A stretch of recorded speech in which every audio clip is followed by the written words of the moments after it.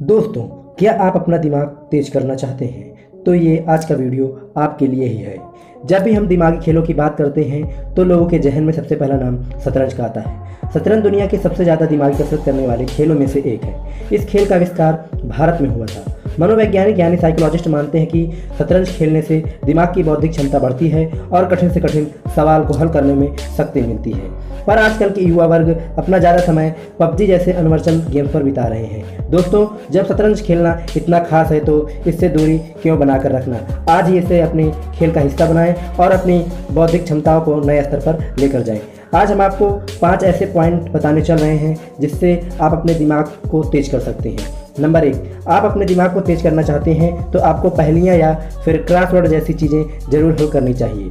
Point number two कोई भी indoor game जैसे कि चेस या फिर आउटडोर गेम जैसे कि बैडमिंटन आपको ज़रूर खेलना चाहिए। इससे दिमाग का प्रेशर हटेगा और आपका फोकस बढ़ेगा। पॉइंट नंबर थ्री आपने सीखा है जितना भी वो दूसरों को ज़रूर सिखाएँ। इससे आपकी मेमोरी क्या होगी? वो सॉफ्ट होगी।